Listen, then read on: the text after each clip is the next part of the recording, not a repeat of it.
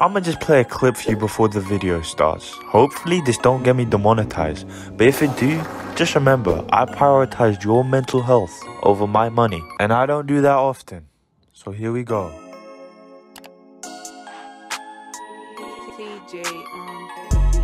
Hey yo, what the? If you are a bit confused about that TikTok, let me just break it down for you real quick. It was a woman combing her pubes. Just let that sink in for a second. Also, here's another clip.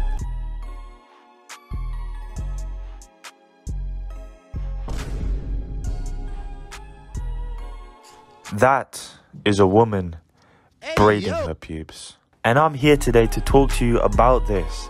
Because I saw on my For You page, and god damn, that ruined my day. And so I also want to ruin your day too. This woman, this normal looking woman, decided for whatever reason it was a good idea to grow her pubes out to knee length, comb them, and then braid them. And not only that, but then put it on the internet for everybody to see which is just mind boggling. And after I watched this and I was done throwing up, the same question came into my mind as a question that's come into your mind Is this fake? Is for content? Did she just wake up one day and decide, yes, today is the day I will become famous on TikTok for braiding and combing my pubes? Yes, this is what I've always wanted, and today I'm gonna do it. Because why would you show your face on content like this? Now, every time you walk down the street, you're just gonna be recognized and be known as the pube combing lady. And Lord forbid if any of your employers do a background check into your digital footprint and content you've put out in the past you're never getting a job. Well, a normal one. You could always just become a professional pube comber. Man, these kids on TikTok, and the word I really should be using is the word everybody. Because everybody has seemed to forget what a digital footprint is. Because if your profile is public, that means the public can see your content. I don't know how much more obvious they can make this for you guys. Although I shouldn't be saying you guys, because all my subscribers, intellectuals, geniuses, huge fucking schlongs. If you want an extra two inches, just subscribe. Nah, but that is crazy, bro. Getting known for braiding your pubes.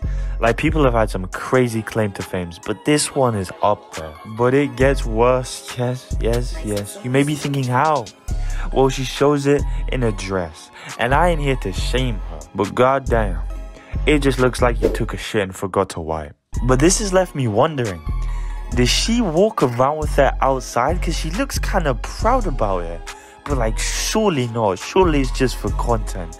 The weird looks she would get in public if she walked around with her pubes dangling out. Cause she would also be going full commando, no underwear, balls flopping about everywhere. And like, surely that's also a bit weird. But there is one seriously defining feature about this woman that you're probably all thinking. She's a bit older, so she could be a mom. And oh my god, bro, if I ever saw my mom on TikTok braiding her pubes, I don't know what I would do. So if she does have kids, I just pray for them, bro. People be saying Lana Rhoades' son has it tough. No. The kids of this woman have it even more tough. Jesus Christ. But that's even if she has kids, because honestly, I I would not hit that. If that shit was flailing around while I was hitting that, no. No. I wouldn't even touch that. Respectfully though. And me personally, I know braiding even just your hair takes a while. So the fact that she sat down and braided her pubes to be known as the pube braider, it, it's uh, I, I I honestly don't understand why the effort. You could put all that time into something productive that would make you go viral for good reasons. But when I go in the comments, all I see is just laughing emojis. When I'm over here throwing up. Cause that shit is disgusting, man. How are you laughing at that? From her videos and just scrolling through her feed a bit, you can tell that she's Latina. So me, being the absolute idiot that I am, I googled, is braiding pubic hair a tradition in South America? Oh. And let's just say, that was not the best thing to put on my search history. And look, man, I'm gonna get fake deep right now, okay? I'm 14 years old and this is deep. But kids and young people, especially on TikTok, are hella impressionable. And the way TikTok trends is going, I would not be surprised if this turns into the next trend. If motherfuckers are dumb enough to put corn on a cob on a fucking drill and then try and eat it as the corn is spinning, it wouldn't surprise me if they started growing their pubic hairs down to their knees. And also, bro, if there are kids out here that are drinking detergent as a fun prank, well, then it ain't a crazy idea to grow your pubes out super. I gotta stop saying pubes. Jesus Christ, bro. I cannot mention pubes and kids in the same sentence. Moving on, I did a little bit of research into the TikToks she's posted in the past and present. Just, you know, a little dibble dabble around her account.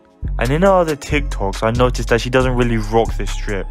I mean, you can't really call it drip, but you, you know what I mean. But this makes me think that she's just kind of doing this for a little bit of internet clout, which wouldn't be the most wild theory thrown out there. Like, bro, there's motherfuckers out here doing home invasion pranks, so this isn't the craziest thing you could do to get a little bit of internet points. I also noticed that she's tried to diversify and post other intellectual content for her viewers, like this one.